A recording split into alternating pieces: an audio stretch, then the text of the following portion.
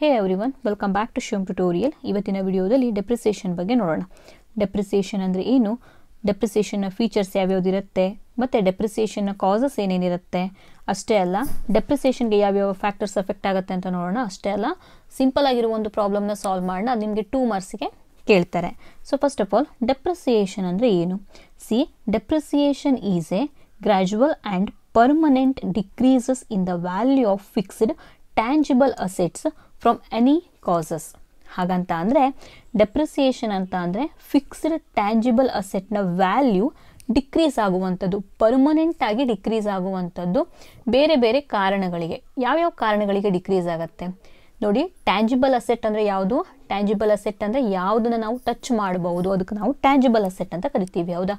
For example machinery ಇರ್ಬೋದು building ಇರ್ಬೋದು vehicles ಇರ್ಬೋದು, ಇವೆಲ್ಲವೂ ಟ್ಯಾಂಜಿಬಲ್ ಅಸೆಟ್ ಇದರ ವ್ಯಾಲ್ಯೂ ಪರ್ಮನೆಂಟ್ಲಿ ಡಿಕ್ರೀಸ್ ಆಗೋದಕ್ಕೆ ನಾವೇನು ಹೇಳ್ತೀವಿ? ಡೆಪ್ರಿಸಿಯೇಷನ್ ಅಂತ ಹೇಳ್ತೀವಿ.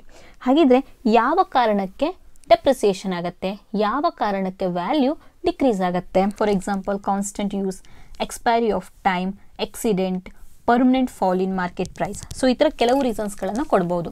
ಹಾಗಂತ ಅಂದರೆ ಸೊ ನಿಮ್ಮ ಮನೆಯಲ್ಲಿ ಒಂದು ಫ್ರಿಜ್ ಇರುತ್ತೆ. ಟ್ವೆಂಟಿ ಫೈವ್ ತೌಸಂಡ್ ಕೊಟ್ಟು ನೀವು ಆ ಫ್ರಿಜ್ಜನ್ನು ಪರ್ಚೇಸ್ ಮಾಡಿರ್ತೀರಿ.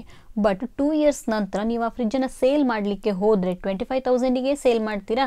ಇಲ್ಲ ತಾನೆ. ಟ್ವೆಂಟಿ ಫೈವ್ ತೌಸಂಡಿಗೆ ಅದನ್ನ ಯಾರು ಕೂಡ ಪರ್ಚೇಸ್ ಮಾಡೋದೇ ಇಲ್ಲ. ಯಾಕೆ ಅಂತ ಅಂದರೆ ಅದನ್ನು ನೀವು ಯೂಸ್ ಮಾಡಿರ್ತೀರಿ. ಹಾಗಾಗಿ ಅದ್ರ ವ್ಯಾಲ್ಯೂ ಕಡಿಮೆ ಆಗಿರುತ್ತೆ.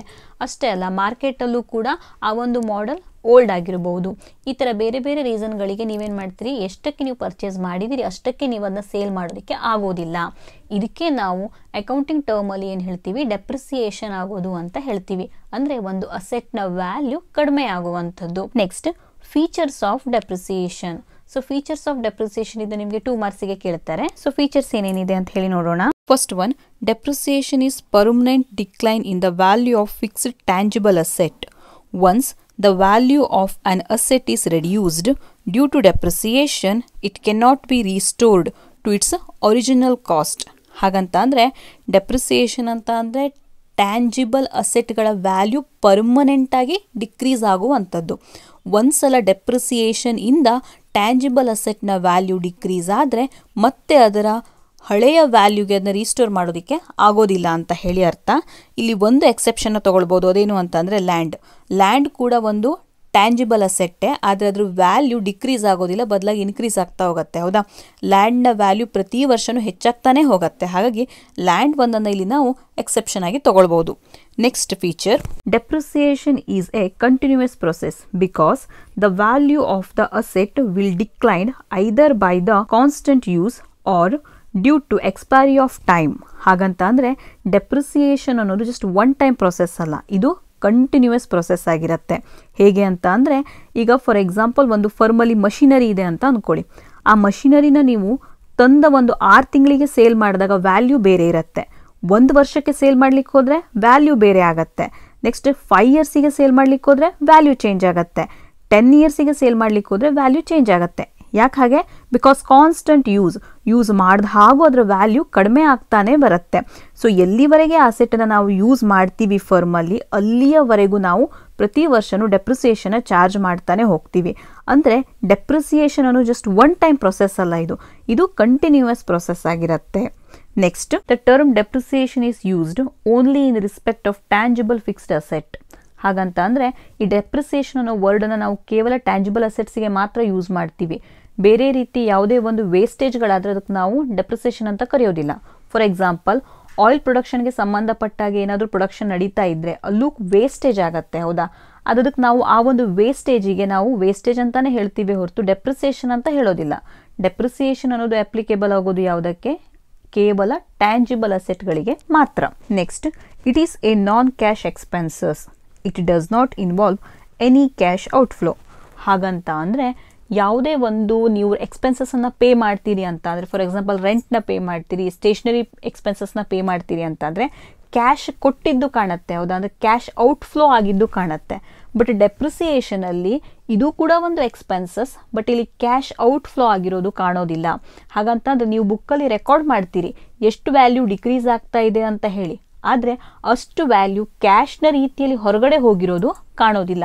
ಯಾಕೆ? ಇದು ಒಂದು ನಾನ್ ಕ್ಯಾಶ್ ಎಕ್ಸ್ಪೆನ್ಸಸ್ ಆಗಿರುತ್ತೆ. ಇಲ್ಲಿ ಕ್ಯಾಶ್ ಯಾವುದೇ ಕಾರಣಕ್ಕೂ ಔಟ್ ಫ್ಲೋ ಆಗೋದಿಲ್ಲ.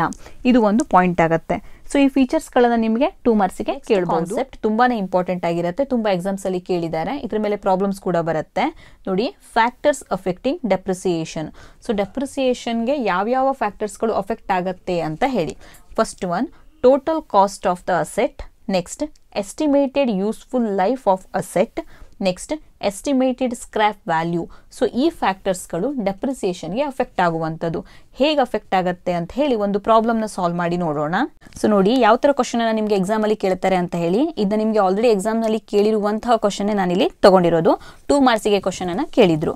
ನೋಡಿ X purchased a machinery for rupees five lakh on first April two thousand seventeen the scrap value of the machinery is rupees ten thousand and its useful life is ten years calculate the amount of depreciation so ಇಷ್ಟು information ಕೊಟ್ಟಾಗ ಡೆಪ್ರಿಸಿಯೇಷನ್ನ ವ್ಯಾಲ್ಯೂನ ಹೇಗೆ ಕಂಡುಹಿಡಿಯೋದು ನಾವು?